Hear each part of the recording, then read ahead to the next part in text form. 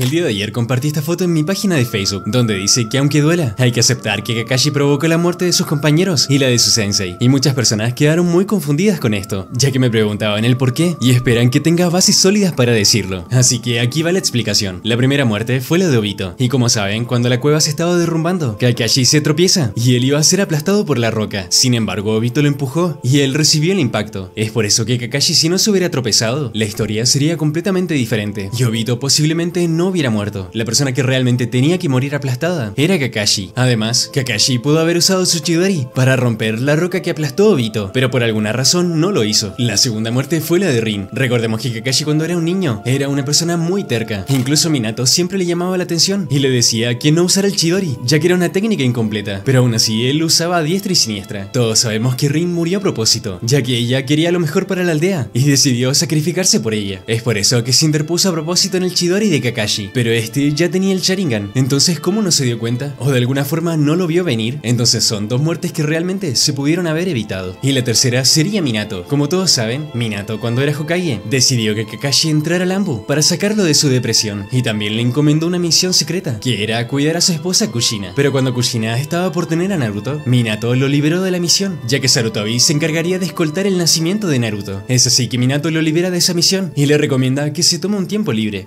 ¿Por qué no te tomas unos días libres? Es así que Kakashi se va a la tumba de Rin y le cuenta que Minato va a tener un hijo. Incluso le dice que es un gran secreto. Bueno, esto es alto secreto.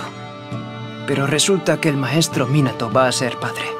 Pero realmente lo que Kakashi no sabía era que Obito estaba escondido escuchando todo. Es así que gracias a Kakashi, Obito vio esta oportunidad para sacarle el brillo a Kushina. De lo contrario, si no hubiera conocido este secreto, Naruto hubiera sido un niño feliz, ya que hubiera tenido a sus dos padres con él. Ya que Obito, de no haber sabido este gran secreto, nunca hubiera atacado la aldea ese día. Es por eso que por esta acción de Kakashi, Obito atacó la aldea y Kushina y Minato murieron. Obviamente, quiero aclarar que esto fue de manera indirecta. Obviamente Kakashi no quería hacer nada de esto. Recordemos que solamente era un niño, pero de alguna forma sus acciones condenaron a los demás. Si tan solo Kakashi hubiera actuado de una forma diferente, nada de esto hubiera ocurrido. Yo realmente no lo culpo porque no lo hizo de forma consciente, pero aún así, sabiendo esto, sinceramente no lo culpo y nunca va a dejar de ser mi personaje favorito. Así que para resumir, ¿se pudo haber evitado la muerte de Obito? Sí. ¿Lo pudieron haber rescatado de esa roca? Sí, también. Incluso Minato, con el jutsu del dios trono volador, lo hubiera podido sacar fácilmente de ahí. La muerte de Rin también se pudo haber evitado, y su Biju se hubiera podido controlar. Y la muerte de Minato y Kushina simplemente fue porque Kakashi abrió la boca. Así que no me funen por esto, pero en realidad